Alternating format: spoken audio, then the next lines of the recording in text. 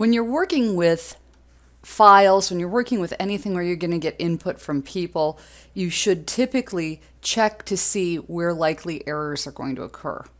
It's bad for a program to just abruptly end and not indicate what went wrong, why it happened. It's very hard to fix or understand what's going on if everything blows up and you don't know why. And you can take controls. Now, normally, if something goes wrong, you will get an error message. But as you've probably seen in debugging your code, the error messages aren't always extremely clear. So I've got this program I'm going to go through uh, where we're going to in, read in a series of numbers. These are representing blood sugars. These are blood sugar numbers that if you're diabetic, you might get. And they should come in, they should be read in. We should strip the new line, and then we should try and convert the number into an int because blood sugar numbers should should be integers. And so here's the file we've got the file, and the, that would be a low number, but it's still one that you could get. That would be a little high, but these are all numbers that you get as a diabetic. This one, while 100 is absolutely a valid and pretty good blood sugar for a diabetic, it shouldn't come in in the text format. The way I designed the program, if you pull in data that's not good data, I want to alert the user that this data is bad and show them the bad line of data. Then I want to stop the program. And we do that using this try and catch statement. So I have a try statement here after I try to convert the record that's read in into an integer.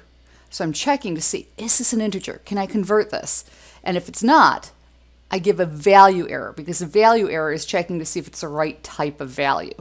And I print this item is not a number, and then I print slash t and record so that it tabs in. You can see this here. This item is not a number. And then I use a break statement. The break statement stops the running of the program. And that's what I want to do when I get when I hit bad data. There's other ways to handle it, but this is the way I want to handle it here. So we use the try section of the code to determine, hey, is this an integer? And then we use the except section of the code to alert the end user that something went wrong and to tell them specifically, this item is not a number, 100. The other place that I'm using a try and catch statement, or a try and except, I apologize, catch statements are in other languages. It's the same thing. Try and except, try and catch. It does the same thing. That's just a way you do it in another language, which I've been working in. So the try and except statement here, I've got my main method. I've got my file name, which I've set to blood underscore sugar dot txt, and then I try opening the input file. Now, if I give them a bad name for this and run it, it will tell me could not find the file bloodsugar2.txt. So my try statement here is the whole program. I have to have everything tabbed in because everything is dependent on that file working. If it doesn't work, at the very end of the program, I have my except statement with an IO, input output error, IO error, that prints could not the file, find the file, plus the file name. And the reason I did it this way, where I've got the file name as separate that I'm using file name for my input file, is just so I can give better feedback to my end user to let them know, hey, this is the file name you put in. Did you have a typo? You want them to see it.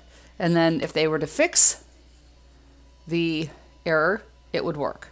So those are two really common errors that you're going to deal with when you're working with either files, at, at least for the um, this one is going to be a real common file error. You should always check that for your input output error. And then value errors, really common both working with files, but this is a really common error when you're getting input from the keyboard.